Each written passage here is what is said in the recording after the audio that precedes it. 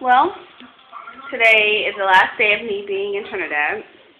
Here I have a five finger fruit. One, that used to be a finger. Two, three, four, five.